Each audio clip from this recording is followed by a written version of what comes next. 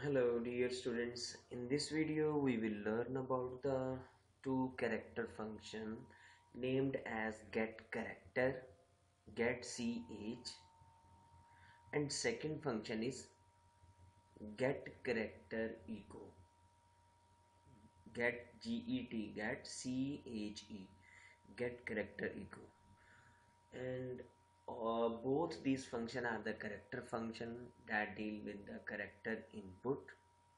And then this character input will be saved inside the variable and then use the value that is input by get character or get character echo function. What will be the main difference between these two functions the difference between these two functions is only that. Get character get ch this function only read the value or accept the value from input device and never display during input time.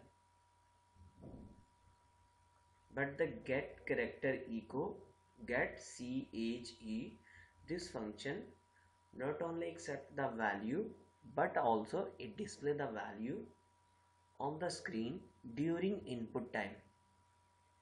This is the only difference between these two function Get character function never display the value on the screen and get character echo function this function uh, will display value during the input time on the screen.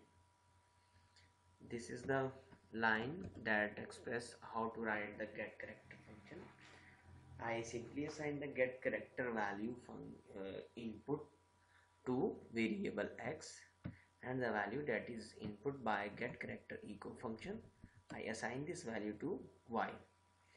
And below these lines character value colon percentage c comma x. This line display the value that is input by get character function and this second line that display the value that is input by get character echo.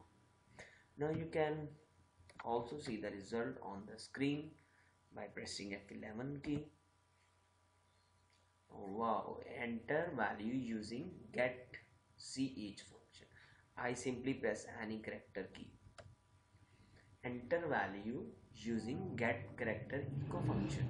Now I will press another key. Look at the screen. Get uh, character value. The character value that is input by the get fun get see each function is each, and the character value that is input by get character echo function is O and this is the O input and here is the display of O.